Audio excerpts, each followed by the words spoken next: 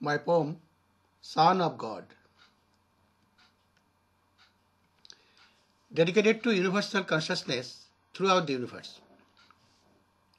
Imagine God with only one Son, who has been crucified on the cross, now sitting on God's right hand after resurrection, and God is old, as in biblical visualization.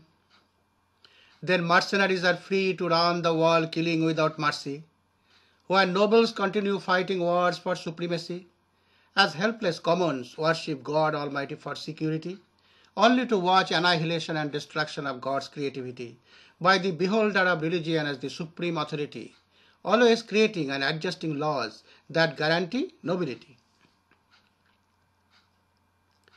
But one can fool few all the time, many for some time, but not everyone all the time. If a soul can really rise as born again from any religious might, beyond the burden of enslaving texts and disguise, then it is not very hard to realize that a physical God can exist resembling humankind, if and only if all men are sons of the divine, all women are daughters with equal rights.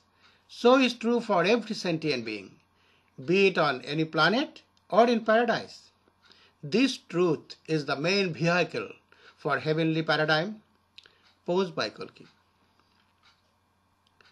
Quote, I am ascending to my Father and your Father, to my God and your God.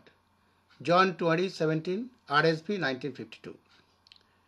Thus, Yeshua of Nazareth never claimed him as the only Son of God.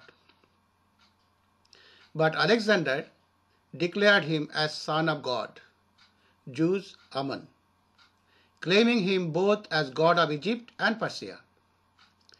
That may be the reason why second coming of Christ per King James Bible is violent like Alexander, Caesar, Pope Urban II, United Monarchs, Hitler, Bush, Blair, Howard. Food for thought for all world citizens. God bless our world towards peaceful coexistence.